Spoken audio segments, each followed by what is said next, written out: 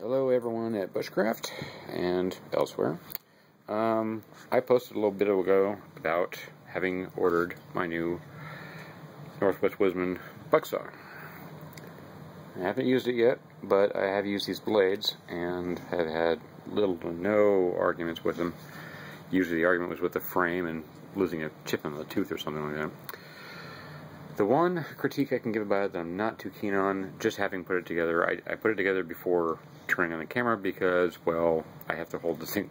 And this thing fought me. It's an aluminum rod, which, frankly, is kind of stupid. Anyway, it does work, but I cannot wait to find some appropriate non-stretchy cord.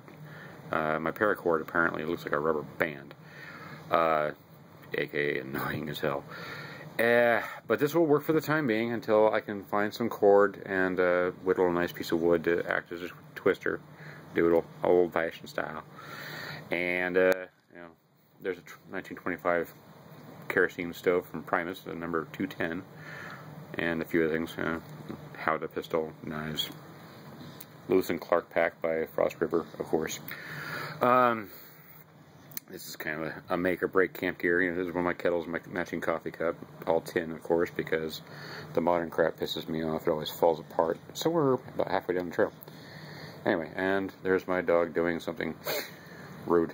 Anyway, so now I've been asked to do a, uh, you know, ask you know how it cuts and whatnot, and I really can't tell you that just yet because I haven't gotten out the door. That will happen at the end of this month. At that point, I will be hopefully, hopefully, posting more videos um, about how how effective the tools are that I'm using. Um, I already know how effective the Howdah. That thing's a, pardon the pun, but it's a blast to shoot. Um, the bike is sound. The lighting system that I'll post in the bicycle riders area uh, is going to be an ongoing thread, probably from me. Um, I will try not to ramble too bad, like I am right now. I I'm 45, jacked up on coffee, and yeah, a little wigged out. Anyway, anyway.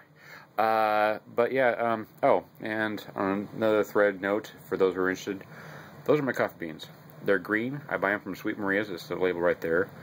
And I roast them in a little blue. Where the hell they go? Oh, there it is. That one.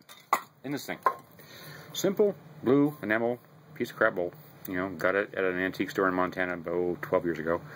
And uh, you basically put about a handful or two of coffee beans in there. That stove, for instance, or any camp stove on low heat, and get a wooden spoon. Don't use metal. Uh, wooden spoon and keep stirring them. It is the most tedious, annoying thing, but makes really good coffee. Um, and when I think of anything else to make a vlog about, I'll go ahead and record it and post it. And I do apologize for the ramble. Good night.